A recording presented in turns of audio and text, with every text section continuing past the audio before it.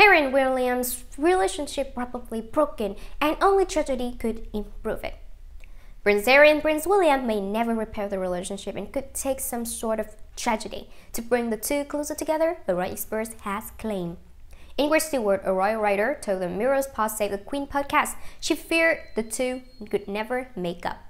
Reports of a rift between two dukes have frequently emerged this year following Prince Harry and Meghan Markle's decision to step down as senior royals and move to the US. Indeed, royal author Robert Lacey has claimed love versus duty has been fundamental to the brothers' relationship woes.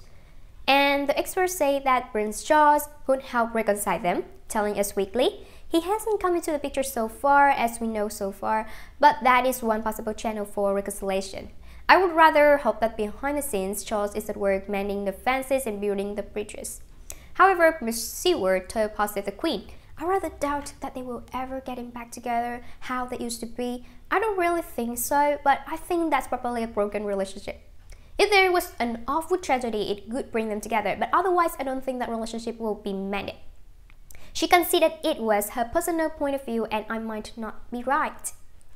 It is thought that the rift between the two brothers worsened in the Prince Harry and Meghan Markle decision to go public with the royal departure announcement. Royal author Omid Scobie claimed that the relationship between Harry and William would take some time to heal after the move. He told True Royalty TV the distance between the two grew wider and wider after the bombshell summit to discuss the terms of the departure with the senior royals. Mr. Scobie added, I think really where it went wrong for Harry and Meghan, the Cambridges, was that decision to go public with the roadmap to the new working model. He said that did not sit well with Prince William, who felt that damaged the reputation of Prince family. And the Duke and Duchess of Sussex now live in California with one-year-old son Archie. The current multi-million dollar mansion is based in the region of Santa Barbara, though they initially stayed for a time in Los Angeles. There has been speculation in recent years, recent weeks, that Duke and Duchess could return to UK for Christmas. It follows a claim by the Sun that the royal aides has been told to prepare couples for a cottage royal residence for the possibilities of Prince William, Prince Harry's arrival. However, Vanity Fair reportedly words that Harry and Meghan would certainly not be returning to UK before Christmas, citing anonymous sources close to the couple.